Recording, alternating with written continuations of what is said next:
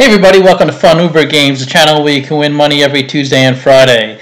So I was trying to think what to do for this week's Tuesday challenge, and I got this pop-up in my Facebook page about this girl who I actually knew really well growing up, Jackie, and she's trying to raise money for a dog who has this um, terrible disease, and she needs to get money in order to pay for the doctor, and I guess maybe the travel expenses as well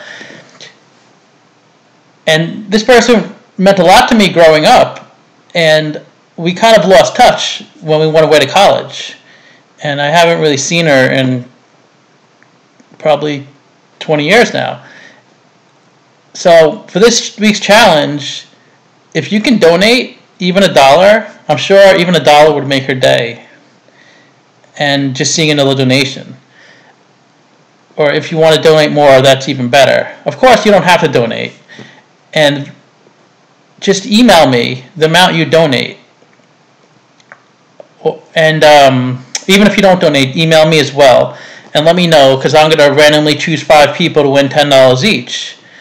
And I want to know how much you donate so I can accumulate all the donations and I'll match that. So if, if I get $320 of donations, I'll just send her 320 through this GoFundMe account and I'll leave it in the description. It's gofundme.com slash pudgy, P-U-D-G-Y.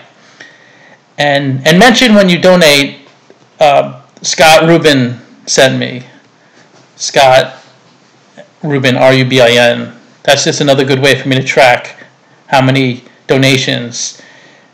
And I really appreciate you even watching this video. And if you want to share it on other social media sites, I'm sure that would be really helpful as well for Jackie's cause. So please like, comment, subscribe, and I'll see you guys soon. And on, on Thursday, I'll do the um, randomizer to see the five people who win $10 each. So try to get me by Thursday 9 a.m. is the cutoff for letting me know that you did this challenge. Thanks.